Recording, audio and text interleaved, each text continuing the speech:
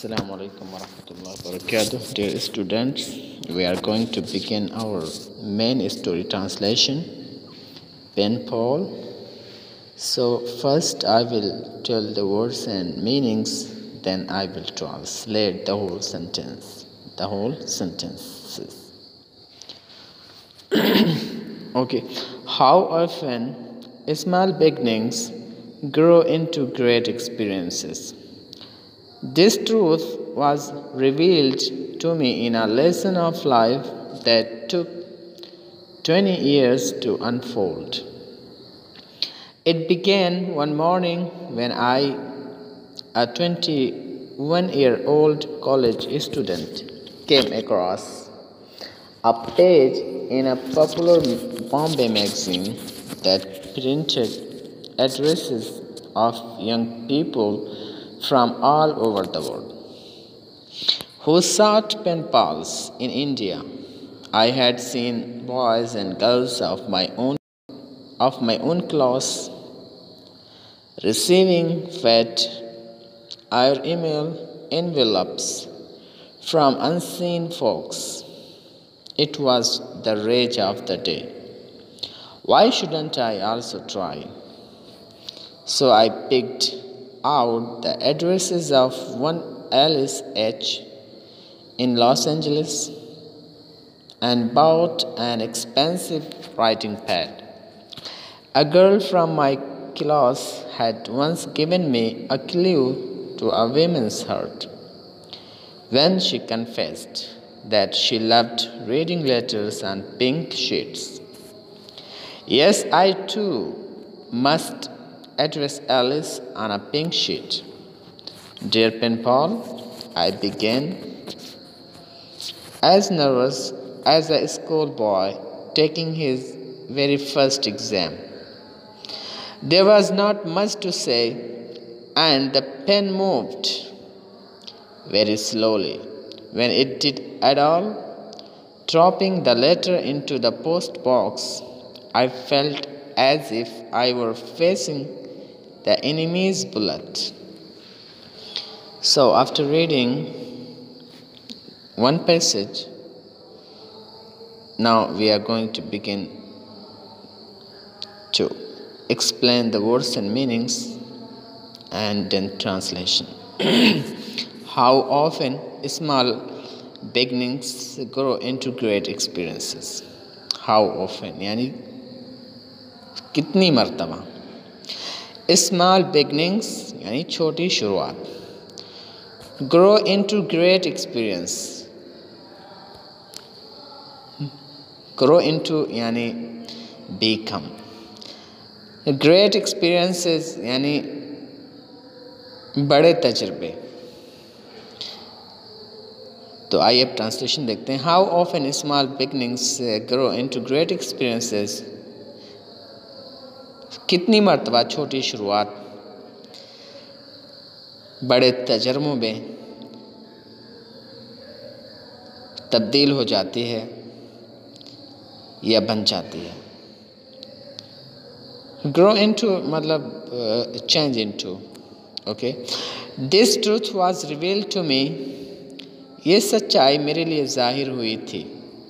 क्या ये सच्चाई मेरे लिए ज़ाहिर की गई थी। In a lesson of life ज़िंदगी के एक सबक में। दैट टुक ट्वेंटी ईयर्स जिसने ले लिया बीस साल टू अनफोल्ड ज़ाहिर होने में। टू टू अनफोल्ड मीन्स होता है खोलना, ज़ाहिर होना भी। इट बिगेन वन मॉर्निंग इसकी शुरुआत हुई एक सुबह। When I a twenty one year old college student जब मैं एक 21 साल का कॉलेज का स्टूडेंट केम अक्रॉस पाया। कम अक्रॉस माने होता है टू फाइंड या to meet by the chance तो यहाँ पे आप कह सकते हैं found okay came, come across eh, found. मैंने पाया a page एक वर्क़े को एक पेज को in a popular Bombay magazine Bombay के एक मशहूर मैगज़ीन में। That printed addresses of young people जिसमें लिखा हुआ था या प्रिंट किया हुआ था। नौजवान लोगों के पतों को from all over the world पूरे दुनिया से। हो साट पेन पास जो तलाश करते थे पेन पास कलमी दोस्तों को इन इंडिया इंडिया में। Okay all over the world माने पूरी दुनिया से, और साठ माने होता है सीक साठ साठ सीकिंग तलाश करना। एंड एंड प्रिंटेड माने होता है मतलब छपा हुआ होना, ठीक है? मतलब टू प्रिंट माने होता है छापना।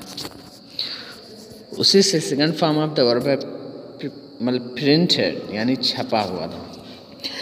I had seen boys and girls of my own class मैं देख चुका था। अपने ही क्लास के लड़कों और लड़कियों को रिसीविंग हासिल करते हुए फैट एयरमेल इनवेलप्स बड़े बड़े एयरमेल के लिफाफों को इनवेलप माने लिफाफा इनवेलप्स जो कि प्लूरल है। फैट एयरमेल्स मीन्स यानी मोटे मोटे एयरमेल यानी मतलब काफ़ी सारे एमेल एयरमेल्स यानी जो काफ़ी सारे होते थे। फ्रॉम अनसीन फॉक्स ना देखे हुए लोगों के के ज़रिए से। Okay I had seen boys and girls मैं देख चुका था लड़कों को और लड़कियों को ऑफ़ माई ओन क्लास अपने ही क्लास के रिसीविंग जो हासिल कर रहे थे फैट एयरमेल एनवेलप्स मोटे मोटे एयरमेल के लिफाफों को फ्रॉम अनसीन फॉक्स ना जाने हुए लोगों से। अनसीन माने ना देखे हुए लोग। अनसीन फॉक्स ना जाने हुए लोग। फोक्स माने पीपल लोग। It was the rage of the day it was the rage of the day the rage of the day माने फ़ैशन ऑफ़ द डे यानी उस वक़्त ये एक फ़ैशन था। It was the rage of the day ये fashion था उस वक़्त का। Why shouldn't I also try मुझे क्यों, मुझे भी क्यों नहीं कोशिश करनी चाहिए? Okay why shouldn't I also try मुझे भी क्यों नहीं कोशिश करनी चाहिए?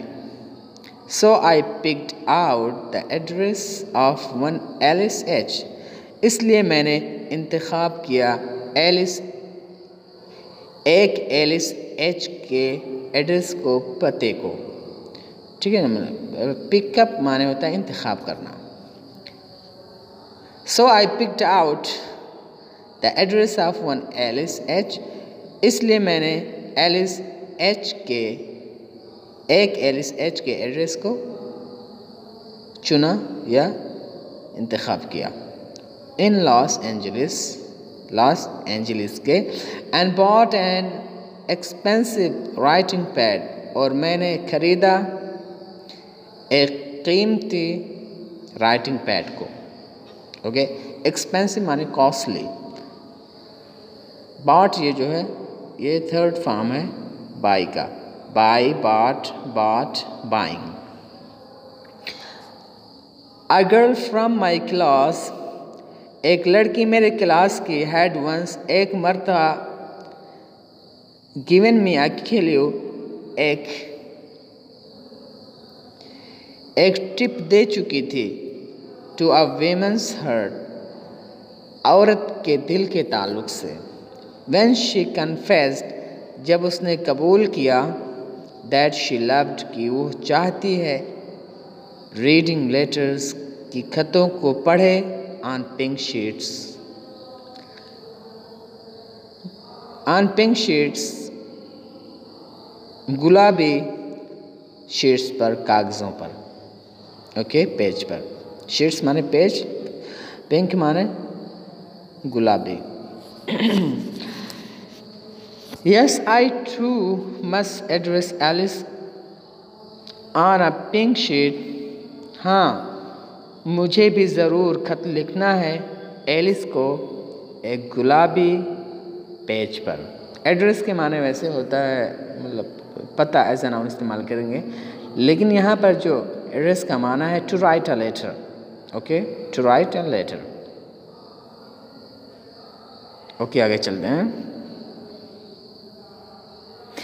तो यहाँ पर एक वर्ड आया था, यानी कि क्लियो तो इसका माने होता है, यानी tip okay dear pen pal प्यारे कलमी दोस्त I began as nervous as a school boy taking his very first exam मैं शुरू कर रहा, मैं शुरू कर रहा हूँ।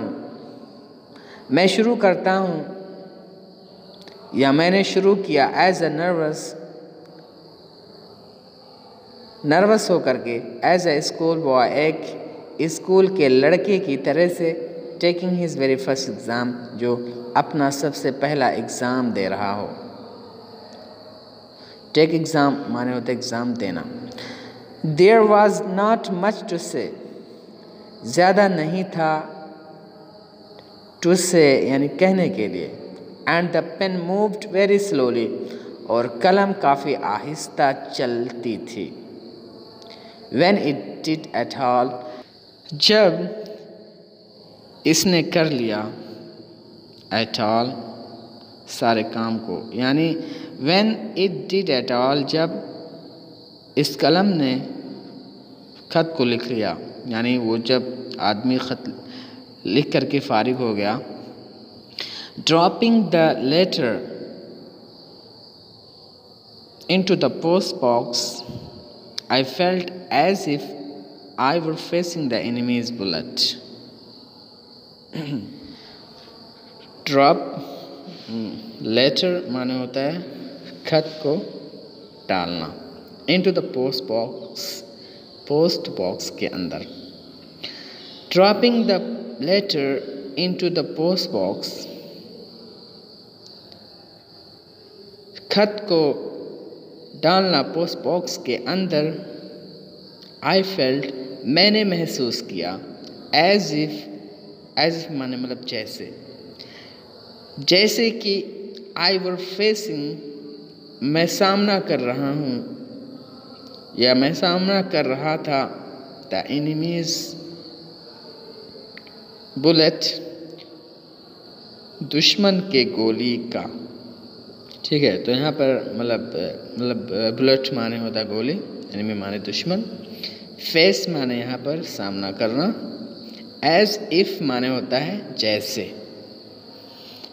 I felt I feel felt felt feeling okay तो यानी खत डालते समय पोस्ट बॉक्स के अंदर मैंने महसूस किया कि जैसे मैं दुश्मन के गोली का सामना कर रहा हूँ।